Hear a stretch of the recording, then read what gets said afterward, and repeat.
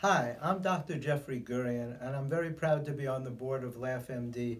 I'm one of the only doctors with a long standing career in comedy, having worked with some of the biggest stars in the country, like Rodney Dangerfield, Joan Rivers, Jerry Lewis, Andrew Dice Clay, and even the young stars of today, like Nick Kroll and John Mulaney. I even wound up on the cover of a magazine. How about that? So I am very proud to be on the board of LaughMD with my good friend Frank Chindamo. Frank, thanks so much for having me be part of it.